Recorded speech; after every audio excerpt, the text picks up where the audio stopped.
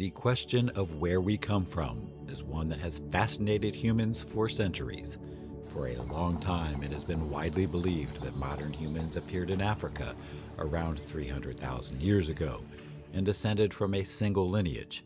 However, new research using advanced analysis based on full genome sequences from the University of Cambridge suggests modern humans are a result of not one, but two ancestral populations that diverged 1.5 million years ago and later came back together in an admixture event approximately 300,000 years ago, with one group contributing 80% of the genetic makeup of modern humans and the other contributing 20%. While previous research has shown that Neanderthals and Denisovans interbred with Homo sapiens around 50,000 years ago, the new research suggests that long before those interactions, around 300,000 years ago, a much more substantial genetic mixing took place. Unlike Neanderthal DNA, which accounts for about 2% of the genome in non African modern humans, this ancient admixture contributed up to 10 times that amount and is present in all modern human populations. What sets this study apart is its approach. Instead of relying on ancient bones for DNA, the researchers analyzed modern human genomes to detect the presence of ancestral populations that may have left no physical trace behind. The data comes from the 1000 Genomes Project, a global initiative that sequenced DNA from diverse populations across Africa, Asia, Europe, and the Americas. To carry out their analysis, the team developed a computational algorithm called COBRAA that models how ancient human populations split apart and later merged back together. They tested the algorithm using simulated data and applied it to real human genetic data from the 1000 Genomes Project. While the researchers were able to identify these two ancestral populations, they also identified some striking changes that happened after the two populations initially broke apart. Immediately after the two ancestral populations split, we see a severe bottleneck in one of them, suggesting it shrank to a very small size before slowly growing over a period of 1 million years. This population would later contribute about 80% of the genetic material of modern humans, and also seems to have been the ancestral population from which Neanderthals and Denisovans diverged.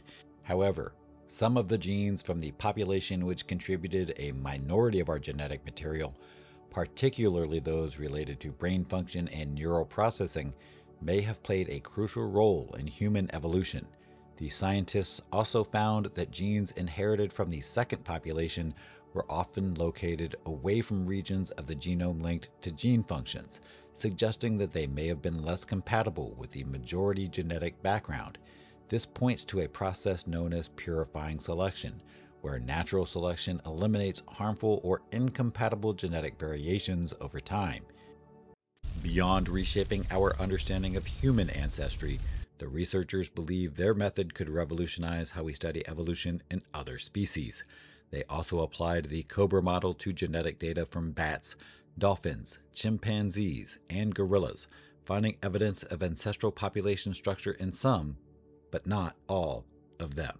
What's become increasingly clear is that the traditional idea of species evolving in neat, isolated lineages is overly simplistic Interbreeding and genetic exchange have likely played a recurring and crucial role in the emergence of new species across the animal kingdom. So, who were these mysterious human ancestors that contributed to our DNA and made us who we are today? Fossil evidence suggests that species such as Homo erectus and Homo heidelbergensis lived both in Africa and other regions during this period making them potential candidates for these ancestral populations, although more research, and perhaps more evidence, will be needed to identify which genetic ancestors corresponded to which fossil group.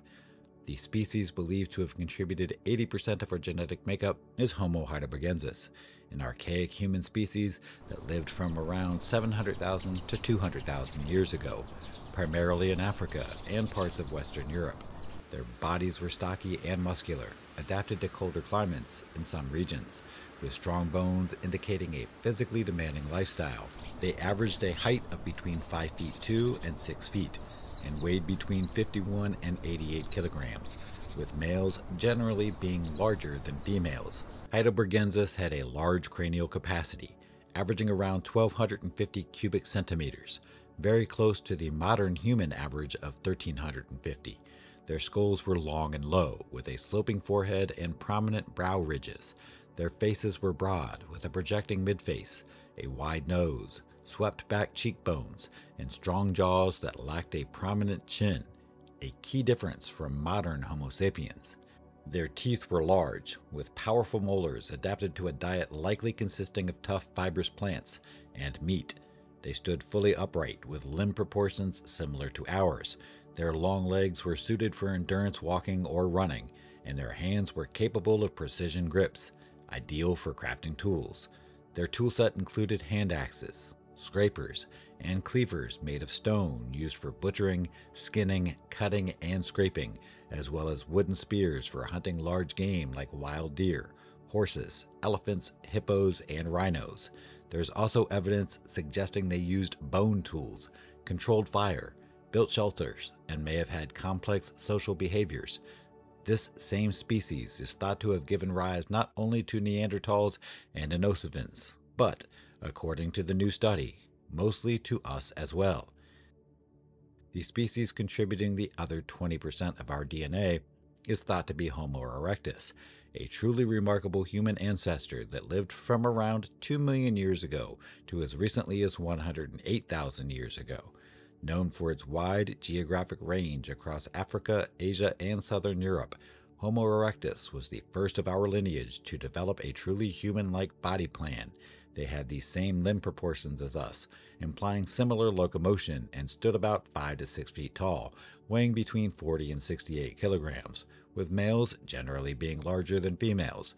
Their brains ranged in size from 600 to 1100 cubic centimeters larger than earlier hominins, and some even approaching modern human sizes. Anatomically, Homo erectus had a pronounced brow ridge, a protruding jaw, large teeth, and thick, robust bones. They built simple shelters, controlled fire, cared for the sick and elderly, and may have engaged in abstract thought and symbolic behavior. They were also the first in our lineage to have human like shoulders, allowing them to throw projectiles at high speed, an adaptation that would have made them efficient hunters with spears and other weapons. They also gave rise to the Acheulean tool industry, heavy duty stone tools like hand axes, cleavers, and picks. These tools required precise grip and planning, suggesting that Homo erectus shared cognitive traits with us. They are often considered the first true hunter gatherers and possibly the first to practice a division of labor between sexes. In many ways, Homo erectus pioneered behaviors and abilities we now see as hallmarks of humanity, so it's no surprise that this species played a role in shaping who we are. While both early human species, they exhibited differences in brain size, skull morphology, and body size. Homo heidelbergensis possessed a larger brain capacity compared to Homo erectus, a more modern skull shape with a higher, rounder vault, and a less protruding face. Its nasal opening was more vertically oriented, and its skull bones were less thick compared to Homo erectus. However, Homo erectus had a more robust skeleton overall, but the differences between them weren't so great as to prevent interbreeding. According to this new study, these two ancient species were close enough to mate and produce fertile offspring, and fortunately for us, they did. Their meeting and genetic merging around 300,000 years ago laid the foundation for the modern human species. It's because of that ancient connection that we're here today, able to reflect, reason, innovate, and yes, even enjoy videos like this one. Looking ahead, the team hopes to refine their model to account for more gradual genetic exchanges between populations, rather than sharp splits and reunions. They also plan to explore how their findings relate to other discoveries in anthropology, such as fossil evidence from Africa that suggests early humans may have been far more diverse than previously thought.